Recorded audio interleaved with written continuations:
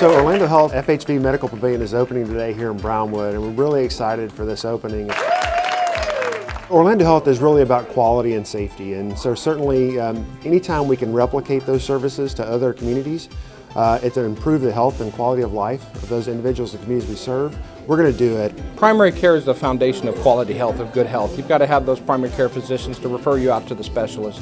Having the specialties facilities here, the service lines like cardiovascular, close to home, huge. You don't have to drive an hour after you've been sedated and gone through the procedure. You can get close to home, you're close to your doctors. So really it means that patients can get into their primary care faster. It also means that if cardiovascular care is needed, uh, they're going to be able to get that sooner and they're going to be able to get that with quality uh, providers and equipment. And we're really excited about the facilities that are here. This facility is a step in the right direction. I have faith that it's going to contribute to both of our successes. It, it makes uh, taking care of patients a whole lot easier when you have uh, access to advanced uh, specialty care other than just cardiovascular medicine.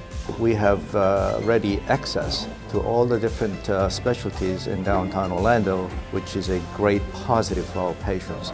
You know, I see Orlando Health as one of those national companies in healthcare that are community focused and patient centered on outcomes. And so I'm just ecstatic to see them moving into the area.